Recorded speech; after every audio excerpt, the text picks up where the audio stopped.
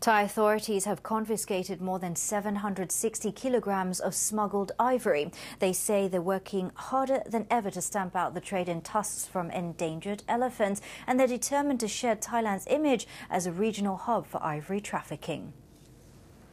Officials say they uncovered a haul of around 300 elephant trunk pieces with a value of around $1 million. They seized the contraband on the island of Samui, a popular tourist destination in the south of the country in early December.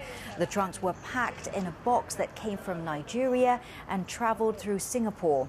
Most illegal ivory is destined for Asia, especially China. There were concerns Thailand could face international sanctions if it failed to rein in ivory trafficking. The government introduced a law this year requiring Thais to register all ivory items and limiting the number they can own.